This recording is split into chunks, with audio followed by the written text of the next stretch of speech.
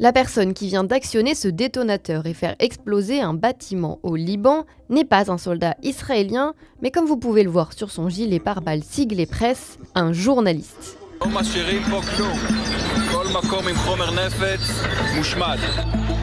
Dans ce reportage de 26 minutes réalisé pour Channel 12, la plus populaire des chaînes d'information en Israël, Danny Kushmaro, journaliste et présentateur télé le plus connu dans le pays, se met en scène aux côtés de l'armée israélienne en train de détruire une maison libanaise dans le village d'Aïta al-Ashab.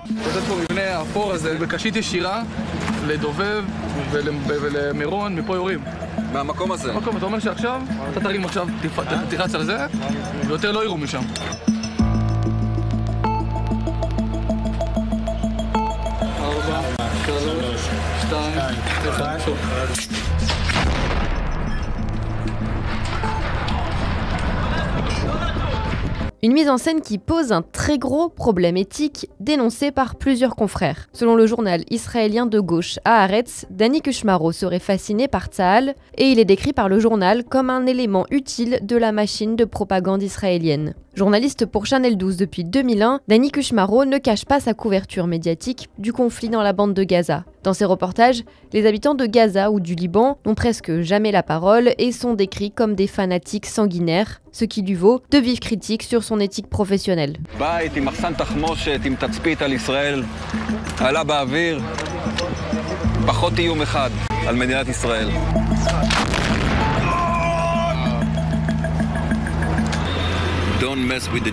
Cette séquence survient alors que l'armée israélienne est régulièrement accusée de cibler des journalistes gazaouis ou libanais. Le Liban a par ailleurs annoncé lundi 28 octobre avoir déposé une plainte au Conseil de sécurité de l'ONU contre les attaques israéliennes visant des journalistes après la mort de trois d'entre eux tués par une frappe dans le sud du pays. Au total, 12 membres de la presse ont déjà été tués au Liban par l'armée israélienne depuis le 8 octobre 2023, comme plus d'une centaine de leurs confrères à Gaza.